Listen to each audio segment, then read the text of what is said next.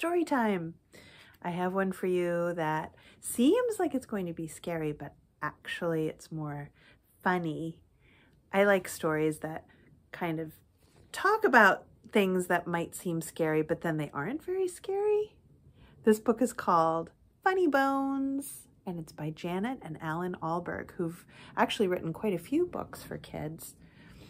And you can see the book is about skeletons. Lots and lots and lots and lots and lots and lots of skeletons. Here they are. Here's a little skeleton family peeking in the door. And here's the title page. That says Funnybones with the author's names. And here we have, they're looking in a window. Look at that shadow. Is that a baby its crib? What are they up to in that picture? I want to show you a little funny preview too. Look at the back. They're running. They're running. Who are they running from? I don't know. Who would scare a skeleton? All right, so the book starts with a lot, a lot of words right here inside this box. And I'll bring it closer so that you can see the places that they're talking about. This is how the story begins. On a dark, dark hill, there was a dark, dark town. In the dark, dark town, there was a dark, dark street. In the dark, dark street, there was a dark, dark house. In the dark, dark house, there was a dark, dark staircase. Down the dark, dark staircase, there was a dark, dark cellar. That's a basement in the bottom of the house. And in the dark, dark cellar. Hmm, I think that's where we're going, where the open door is, and a spider web in the corner. What will we see? Some skeletons lived. There was a big skeleton, a little skeleton, and a dog skeleton. One night the big skeleton sat up in bed. He scratched his skull. What shall we do tonight? he said. Hmm, that's what this talking bubble says. What shall we do tonight? Let's take the dog for a walk, said the little skeleton. And frighten somebody. Good idea, the big skeleton said. They want to scare someone for fun? Hmm, this is funny. In their house, their pictures on the wall are also skeletons. So the big skeleton, the little skeleton, and the dog skeleton left the dark, dark cellar, climbed the dark, dark staircase, and stepped out into the dark, dark street. They walked past the houses and the shops. They walked past the zoo and the police station. They went into the park. Hmm, I wonder who they'll find there in the nighttime. The big skeleton scratched his skull. What shall we do now? he said.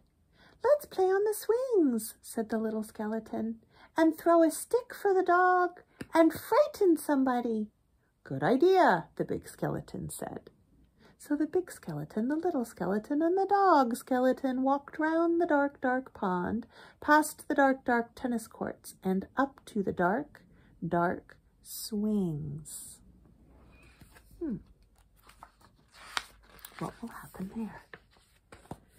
The big skeleton and the little skeleton played on the swings. They threw a stick for the dog. Suddenly, something happened. The dog skeleton chased the stick, tripped over a park bench, bumped into a tree, this talking bubble says, woof. Hmm. And the dog ended up as a little pile of bones. Oh no, the skeleton was fragile, and when it tripped, it fell apart when it hit the ground. Look at that, the big skeleton said. He's all come to pieces. What shall we do now? Let's put him together again, the little skeleton said. So the big skeleton and the little skeleton put the dog skeleton together again, and they sang a song while they did it. The toe bone's connected to the foot bone. The foot bone's connected to the leg bone. The leg bone's connected to the hip bone. The hip bone's connected to the backbone. But then they got all mixed up. Is that a toe bone? The little skeleton said. Where does this one go? said the big skeleton. Uh-oh. These are mixed up ways of putting the dog back together. And the dog can't even say woof. Here, the talking bubble says woofo instead of woof. Oof woof. Ow off. Oh. They're mixing up the letters of woof to make other words. Even the letters are mixed up. When they had finished, the big skeleton said, That dog looks a bit funny to me. So he does, said the little skeleton. We've got his tail on the wrong end and his head. Foo, said the dog skeleton. Oh dear. His head is supposed to be up here by the ribs, where his tail is supposed to be back there, where his back legs are. Oh no.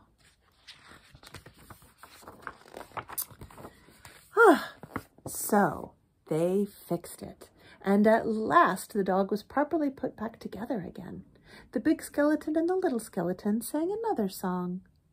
These bones, these bones can bark again, can run around in the park again, can frighten people in the dark again.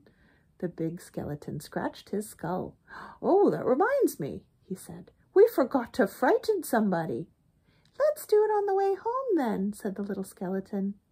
Good idea, the big skeleton said. The big skeleton always says that.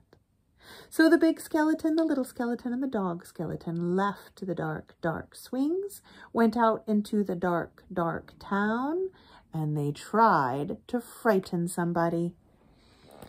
Here they are walking along, and the green talking bubble from the big skeleton says, I wish we had a nice little boy to frighten. And the little skeleton's pink talking bubble says, I wish we had a nice old lady. So they're imagining who they would like to scare if they could find anybody in the nighttime. The trouble was, there wasn't anybody. Everybody was at home in bed. Even the policemen in the police station were in bed, and even the animals in the zoo. Of course, the skeleton animals were awake. skeleton animals? There are skeleton animals at the zoo? What kind of an animal do you think that is with the long neck? Look, this tiny animal is saying, squeak, squeak, squeak, squeak. Can you guess what that is? This animal is hanging from a branch, and it says, snort. This animal probably says, and this animal says, oink. I bet you can guess what all of those skeletons are. Well,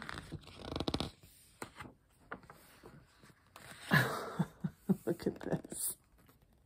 They're saying, get up, Nelly. You can tell what kind of an animal that is. Here, this animal is saying, good evening all. Who's a cheeky boy then? Have a cup of tea. Pretty Polly, put the kettle on. Mother. Have you seen a parrot before? Some of them can talk. Did you know all of those animals on the last page? Did you guess giraffe? Did you guess fish and a mouse and a sloth? Do you know about sloths?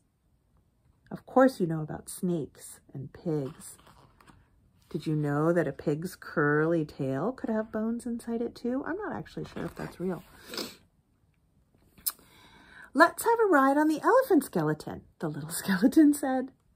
Let's have a word with the parrot skeleton. The big skeleton scratched his skull. Uh, let's keep out of the way of the crocodile skeleton, he said.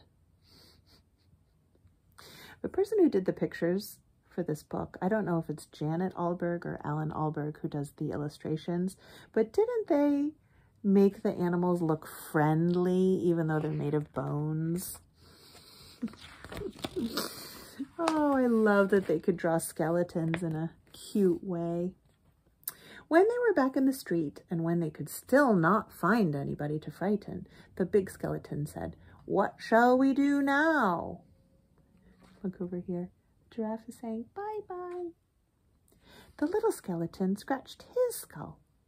Let's frighten each other, he said. That's better than nothing. Good idea, said the big skeleton. The little dog is having a thinking bubble because the, see how there's a line here to make a talking bubble? Let's frighten each other, good idea. And then the dog, because it's not saying any words out loud, has a puff and then some little clouds underneath it that show that these words are just inside the mind. And the dog is thinking, what a brain. it's kind of like saying someone's really smart. So after that, the big skeleton frightened the little skeleton. I'm coming to get you. Gotcha! Boo! The little skeleton frightened the big skeleton, the big skeleton and the little skeleton frightened the dog skeleton, and the dog skeleton frightened them. Meow! They pretended to chase him. Woof! he said in his biggest voice. Whoa! The hat flew off. They were pretending that the big skeleton was so surprised flew off. Oh my goodness. They really knew how to have a good time. Ooh, help! They hid around corners and frightened each other. They climbed up lamp posts and frightened each other. They jumped out of dustbins and frightened each other. Dustbins. We don't really use that word. We usually use the word garbage can. Here the dog skeleton is saying, yelp. I think dustbin is a word they use in England. And they frightened each other and frightened each other all the way home. And that is how the story ends. On a dark, dark hill, there was a dark, dark town. In the dark, dark town, there was a dark, dark street. In the dark, dark street, there was a dark, dark house.